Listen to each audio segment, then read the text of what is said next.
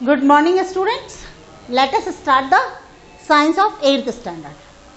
Our chapter is crop production and management. We have already studied about the steps of agriculture practices. अब agriculture practices में अपने आपको मैंने क्या बताया था preparation of soil number one जिसमें आपका प्लोइंग एंड लेवलिंग था number two sowing out seeds number three application of manures and fertilisers number four था आपका इरिगेशन, नंबर फाइव पे आपका वेडिंग था। अब नंबर फाइव पे आपका वेडिंग था, नंबर सिक्स पे आपका आता है हार्वेस्टिंग, थ्रेशिंग एंड विनोइंग। और लास्ट आ जाएगा आपका स्टोरीज तो what is the harvesting harvesting है क्या? एक्चुअली हार्वेस्टिंग इज़ रिमूवल और cutting of crop after the maturity आपकी फ़सल अपने पौधा लगाया, बहुत अच्छे से पौधे बन गए और अल्टीमेटली एक ऐसा टाइम आता है जब आपका पौधा पूरा की तरह मैच्योर हो जाता है। When your crop is totally mature then we have to cut it then it means cutting of crop after maturity is known as the harvesting. Harvesting is the time of celebration of crop festival. एक जो फ़सल कटती है तो उस वक्त में किसान क्या होता है कि उसकी एक मेहनत होती है और फ़सल की मैच्योर हो जाना और प्रॉपर हेल्दी फ़सल मिलना अपने आप में उसके लिए एक त्यौहार से कम नहीं होता at that's why they celebrated और उसको वो कई तरीके से, जैसे डांस करके करते हैं, किसी कई तरीके से उसको वो सेलिब्रेट करते हैं। हार्वेस्टिंग किससे करते हैं? दो तरीके होते हैं। One is the manual manual के अंदर क्या होता है? टू मेथड्स होते हैं। एक होता है आपका मैनुअल और दूसरा आपका होता है मशीन से, बाय मशीन।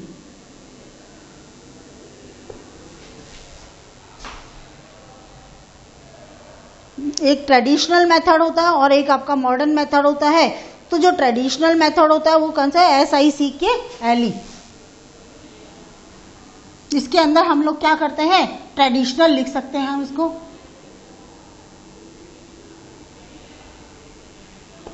ट्रेडिशनल हो गया और दूसरा जो होता है वो मशीन होता है यह कि मॉडर्न मॉडर्न मेथड जो होता है मॉडर्न मेथड के अंदर हम क्या करते हैं? थ्रेशर इस्तेमाल करते हैं और सॉरी थ्रेशर नहीं आएगा हार्वेस्टर आ जाएगा इसमें। One is the harvester harvester एक मशीन होती है, इसका इस्तेमाल करते हैं। जो ट्रेडिशनल मेथड होता है, उसमें हम सिकल का इस्तेमाल करते हैं। सिकल क्या होता है? सिकल एक्चुअली देखिए, आप इस तरह की एक बनी हुई होती है। ये इसका एक वुडन हैंडल होता है, ये लोहे का बना हुआ था आयरन इसको वुडन हैंडल से लेके उसको बाकायदा बेस से इसको कट किया जाता है। That is the traditional method है सिकल जो हम हमेशा से करते आ रहे हैं। And number one is the other is the modern method modern method में हार्वेस्टर होता है और मशीन की सहायता से हम लोग इसको काटते हैं। उसके अलावा इसके अंदर एक क्या होता है? कंबाइंड हार्वेस्टर होता है और जो कंबाइंड हार्वेस्टर होता है, कौन सा होता है आपका? कंबाइंड हार्वेस्टर कंबाइंड हार्वेस्टर के अंदर क्या होता है? ये एक ऐसी मशीन होती है जिसके अंदर फ़र्स्ट ऑफ़ ऑल फ़सल की जो होती है वो कटिंग भी हो जाती है, यानी हार्वेस्टिंग भी हो जाती है और उसके अलावा थ्रेशिंग भी हो जाती है। बहुत सारे जो मशीन्स होते हैं फार्म के अंदर, उसके अंदर अलग अलग तरह की मशीन्स आती है। उसके अंदर एक हो गया आपका कंबाइंड हार्वेस्टर थ्रेशर होता है। थ्रेशर के अंदर सिर्फ़ थ्रेशिंग करते हैं। मतलब वो नेक्स्ट टॉपिक में एक्सप्लेन करते हैं। नेक्स्ट आपका है थ्रेशिंग तो हार्वेस्टिंग का मतलब है cutting of crops after maturity इसकी आप definitely the cutting and collecting the matured crop from the field is called harvesting इसकी यानी कि हार्वेस्टिंग के लिए आपका क्या लिखेंगे? The cutting and collecting the crop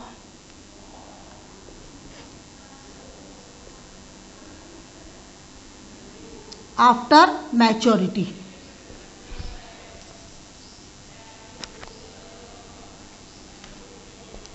क्या आ जाएगा? The cutting and collecting the crop after maturity is known as harvesting means अब have you understand what is the harvesting simple भाषा में बोले तो हार्वेस्टिंग फ़सल की कटाई को कहते हैं और ये बिल्कुल जड़ से की जाती है, बिल्कुल नीचे वाले पोर्शन से की जाती है और दो मेथड होते हैं इसके अंदर। One is the traditional method another is the sickle modern method traditional method में हम लोग सिकल का इस्तेमाल करते हैं। दिस इज़ द सिकल और उसके अलावा जो मॉडर्न मेथड होते हैं, उसमें हार्वेस्टर आता है जो सिर्फ़ फ़सल को काटता है। उसके अलावा एक कंबाइन मशीन आती है, जिसको हम कहते हैं कंबाइंड हार्वेस्टर और ये हार्वेस्टिंग और थ्रेशिंग दोनों का काम करता है। अब the cutting and collecting the crop after maturity mature होने के बाद में फ़सल को काटना और इकट्ठी करना, उसको that is known as the harvesting Now come to the next topic that is the threshing. What is the threshing? Threshing is a process by which grains are released from the chaff. Is the process by which grains are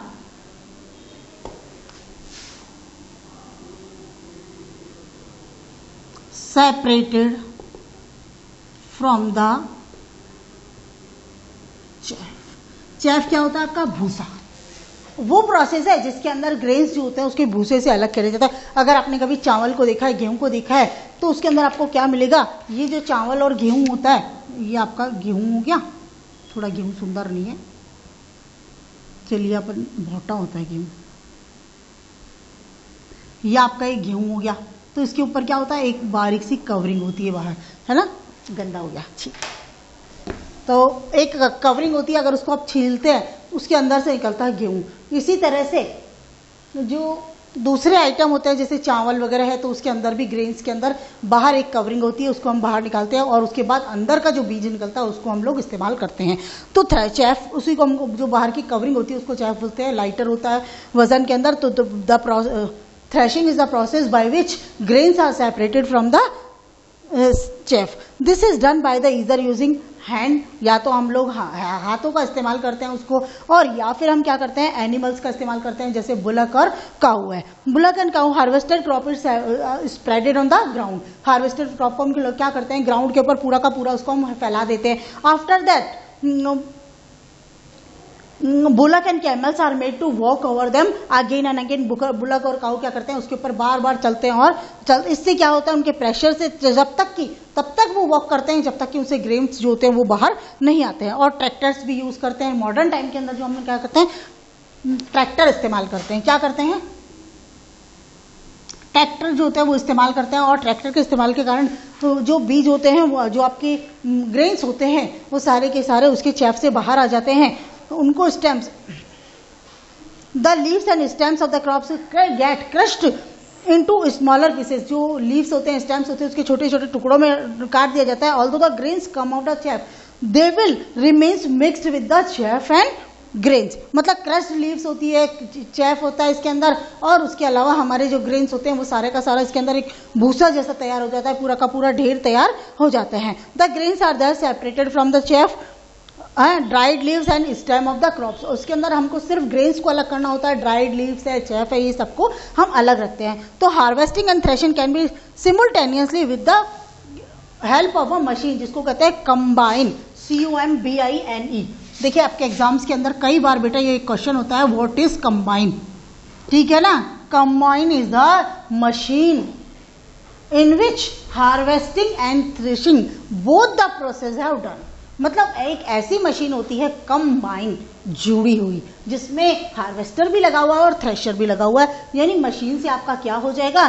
सबसे पहले आपकी फ़सल cut जाएगी और उसके बाद में threshing माने उसका जो ग्रेन्स होते हैं वो फ़सल में से जो चैफ में से ग्रेन्स होते हैं वो आपका सेपरेट हो जाएगा। आगे समझ में? Any process any problem What is threshing? Threshing is the process by which grains are separated from the chaff. May be in the uh, with the help of the tractor और manually manually भी करते हैं, tractor से भी करते हैं, animals की help से भी करते हैं। एनिमल्स क्या करते हैं उसके अंदर? First of all we spread the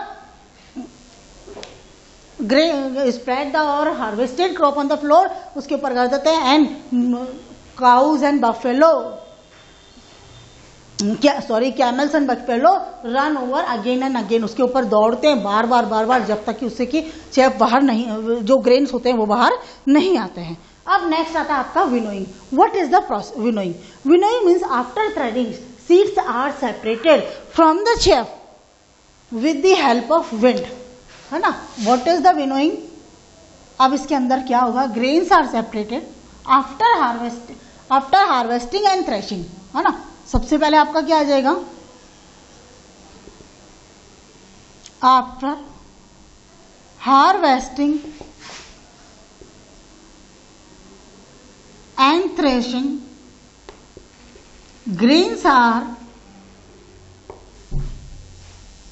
separated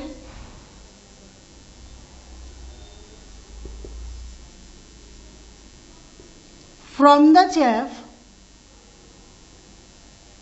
Grains are separated from the chaff with the help of wind.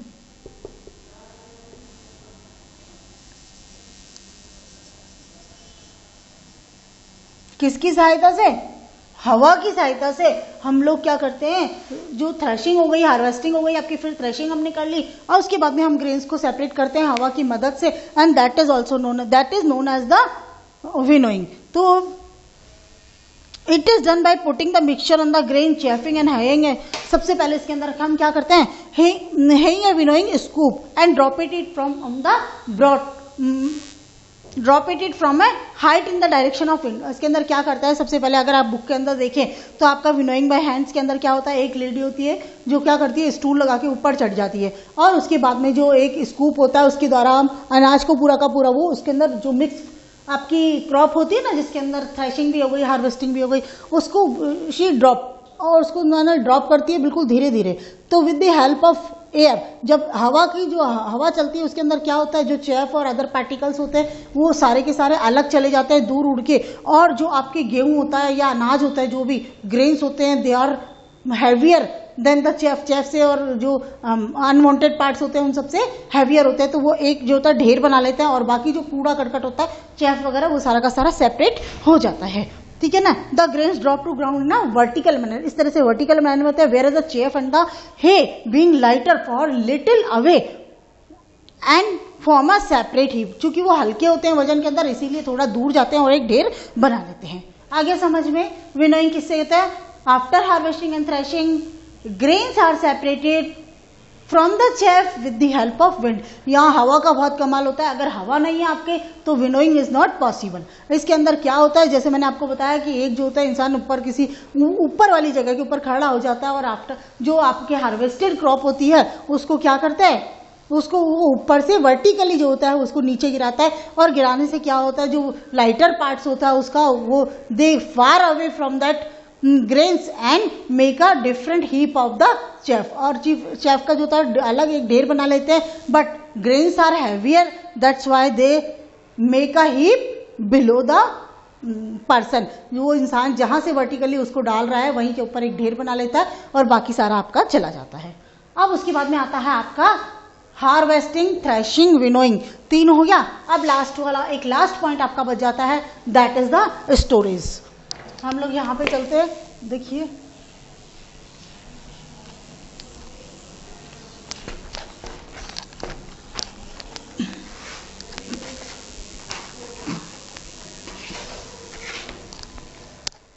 अब लास्ट में हम लोग आते हैं स्टोरेज में। अब देखिए after winnowing we get the pure grain हमको प्योर ग्रीन बन जाते हैं। मिल जाता है जिसको मार्केट में हम सेल आउट कर सकते हैं। लेकिन after harvesting and crop produce has to stored properly उसको बहुत ज़्यादा स्टोर्ड प्रॉपरली करना चाहिए हमको और care must be taken that the grains are kept grains को हमको कैसे रखना चाहिए? Number one away from moisture away from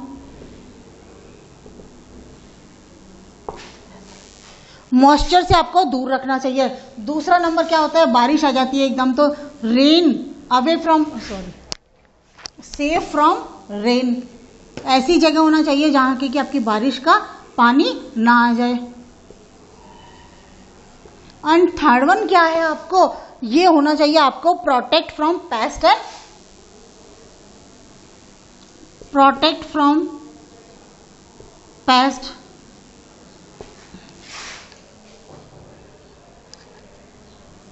and birds और उसका दूसरा कौन सा हो गया आपका? जो बर्ड्स होती है, चिड़ियाएँ होती है, चूहे होते हैं पेस्ट होते हैं, उन सबको आपको बचाकर रखना है। उसके अलावा लास्ट आता है in air air tight godown in proper bags for the purpose of air tight godown और स्टोर करना चाहिए कहाँ पर? एयर टाइट गोडाउन के अंदर। उसके अलावा इनको जो प्रॉपर पैकिंग हो जानी चाहिए इनकी। अब आप देखिए, जब हम लोग एक फ़सल काट लेते हैं, पूरी की पूरी विनोइंग करने के बाद में जो हमारे पास में ग्रेन्स होते हैं, लेकिन they are full of moisture उसके अंदर क्या होता है, पूरी तरह से मॉइस्चर होते हैं, जो फ्रेश क्रॉप प्रोड्यूस होते हैं they contains a lot of moisture and the moisture contains has to reduce by drying उस मॉइस्चर को हमें हटाना पड़ता है, हटाना ही पड़ेगा। क्यों? और किससे करेंगे? ड्राइंग से। While reducing the moisture content also protect the freshly harvested grain from attack of microorganisms. और ये एक टाइम होता है जहाँ माइक्रो ऑर्गेनिजम्स बहुत ज़्यादा लगता है क्योंकि उस जो न्यू कटेड आपकी सॉइल ग्रेन्स होते हैं, फ़सल होती है क्रॉप होती है, उसके अंदर क्या होता है? बहुत सारे मॉइस्चर होता है और मॉइस्चर माइक्रो ऑर्गेनिजम्स को अटैक करता है। तो the spoilers of grain prevented यानी कि उसको हमको पूरा अच्छी तरह से प्रिवेंट करना है। आज अगर हम देखते हैं जो हमारे देश के अंदर जो 25 परसेंट जो क्रॉप होती है, वो कई बार 25 परसेंट जो क्रॉप होती है प्रोड्यूस वो कई बार डैमेज हो जाती है। ये हम लोग जब स्टोर उसको प्रॉपरली नहीं करते थे। Therefore make the proper storage of over food material is a great necessity बहुत ज़्यादा ज़रूरी है। हमारे के अंदर जो हम लोग क्या करते हैं स्टोरेज के अंदर क्या लेते हैं, या तो हम जूट बैग लेते हैं। अगर आप मार्केट में गेहूँ लेने जाएँगे तो आपको वो जूट बैग्स के अंदर मिलेंगे जनरली। या फिर उसके लिए जो होते हैं, वो क्या होता है मेटेलिक कंटेनर होते हैं बड़े बड़े कंटेनर होते हैं, यानी कि स्टोरेज बिन बोल सकते हैं आपको कंटेनर बोल सकते हैं। और उसके अलावा, जो बहुत बड़े बड़ी जगह होती है मतलब जहाँ we have to store a lot of grains in that condition we use the silos ठीक है ना? क्या होता है? स्लोज एंड ग्रेनरीज तो silos S I L O S आप बिल्कुल अच्छी तरह से देख लिए what is the silos silos क्या होता है? बहुत ही बड़े लेवल पे हाई लेवल पे जब आपको ग्रेन स्टोर करना होता है तो बड़ी बड़ी टंकियाँ होती है। दे आर सीमेंटेड और उन सीमेंट का जो बड़े बड़े कंटेनर होते हैं, बहुत लार्ज एक्स्ट्रा ऑर्डनरी जो लार्ज स्टिकल होता है, वहाँ पर हम लोग उसको स्टोर करते हैं and that is the silos now और chapter has totally finished we have finish the chapter now we will concentrate on some question on next day okay tomorrow we will complete our question answers. Have a good day. Thank you.